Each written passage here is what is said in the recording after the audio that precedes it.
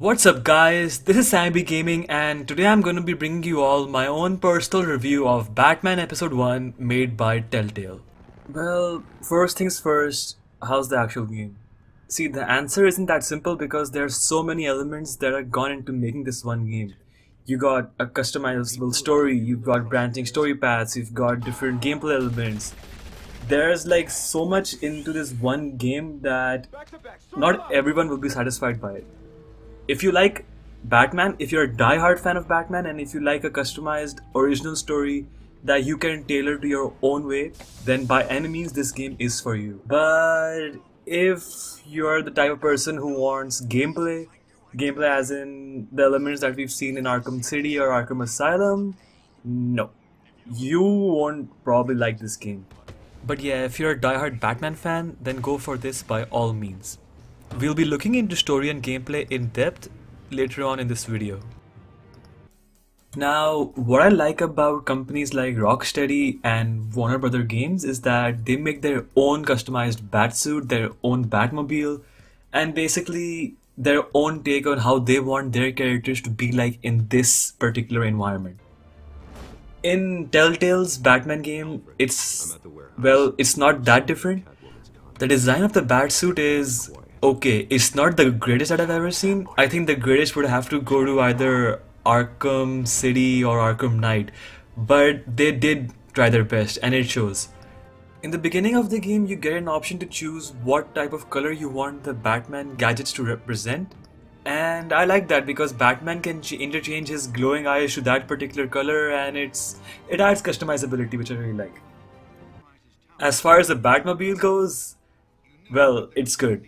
I won't spoil for you, but the way the Batmobile is introduced in the game, it was really really good. I I love that. I love that so much, and that's where Telltale still manages to impress. You know, it's like the Batmobile has been customized and used in so many scenarios. There, we have Zack Snyder using it. We have Christopher Nolan. We have the games, but this one has its own take on it, and I really loved it.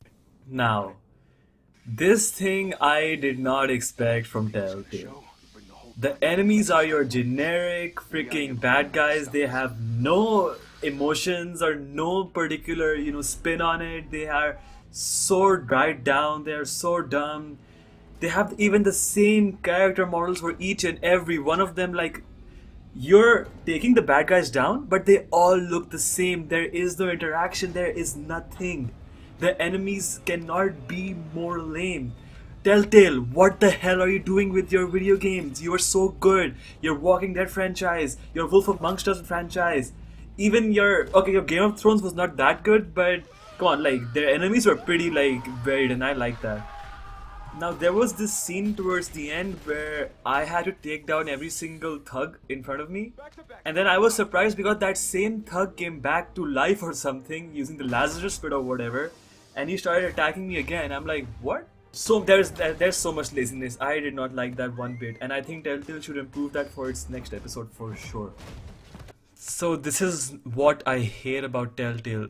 They introduce their own story they introduce their own game they have their own episodes.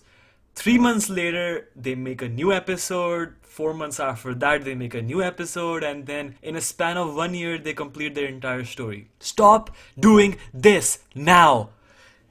Telltale listen to me when you make your game, do not introduce different episodes over extended months, please.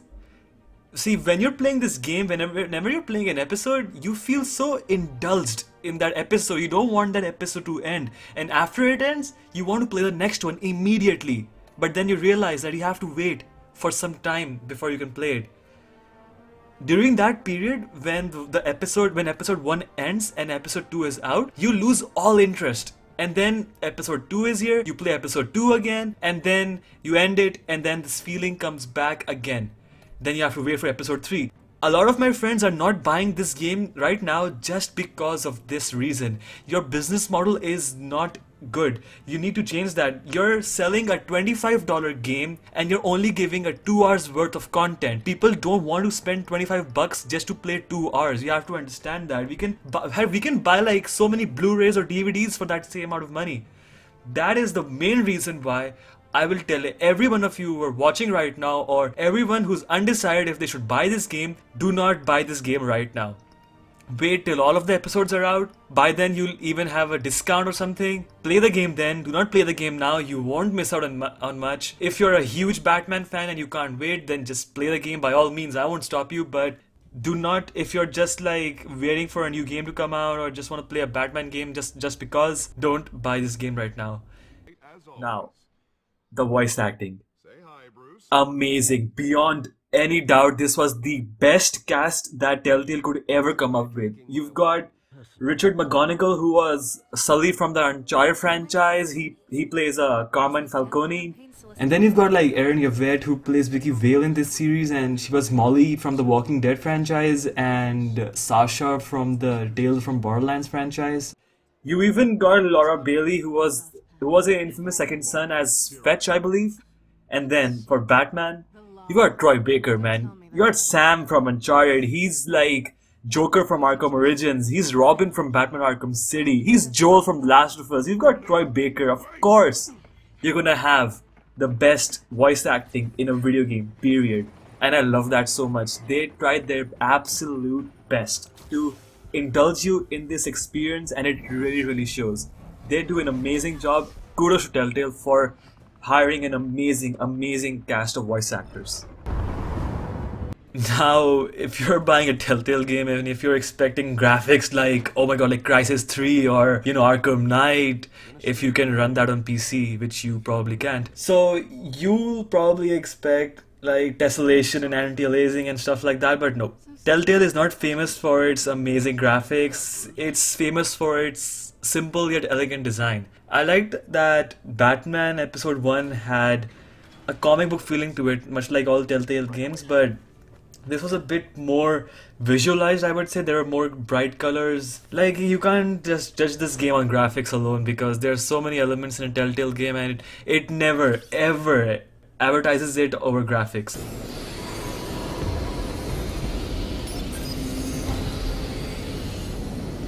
both targets could have been shot from here the gameplay is horrible you cannot even move properly in this game. In the other games, you could actually like go downstairs or interact with different people or talk or stuff like that. You can't do that in this game. There are only like one or two instances where you can actually walk as either Bruce Wayne or Batman and just interact with people, but even that is so dumbed down. It's like they're targeting an entirely different genre right here.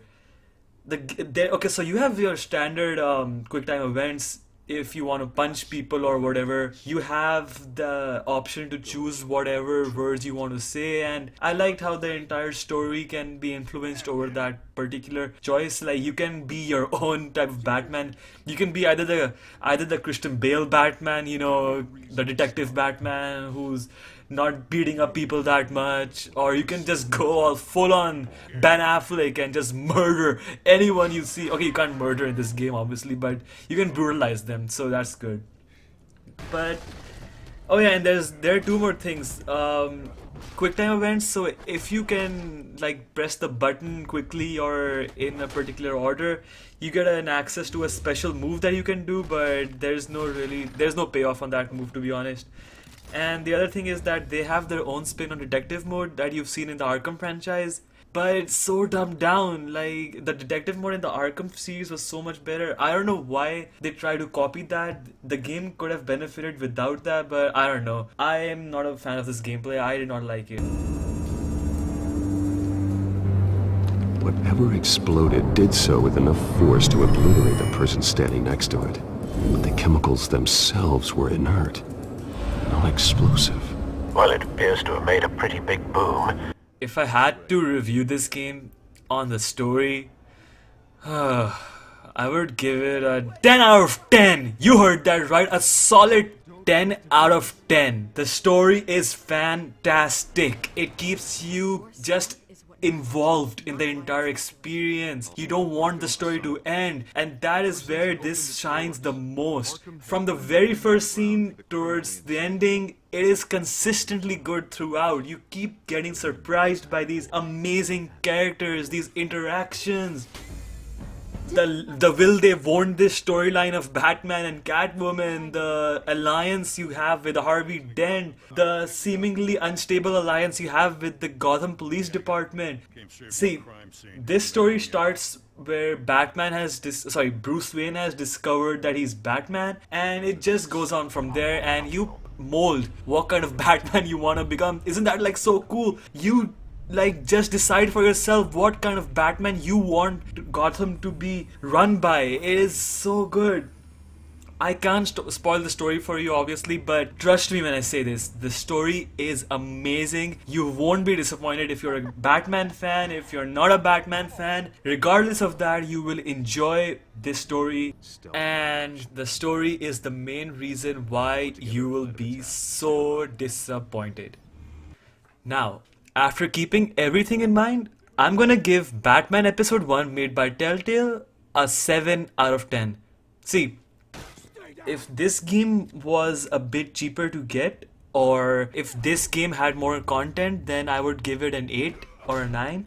But you're only playing 2 hours, so I don't think it deserves more than a 7. Now, it will be unfair for me to judge this entire franchise just based on one game, so that's why I'm giving this episode a 7 out of 10 if the same level of like voice acting and the same content and the same story is given to us in all of the future episodes this game will be like a 9 out of 10 easily. But the main thing that's holding this game back is its gameplay. The core elements we need Telltale, please, you need to improve the core elements, and I hope that in the future episodes, you guys will make an even better Batman game.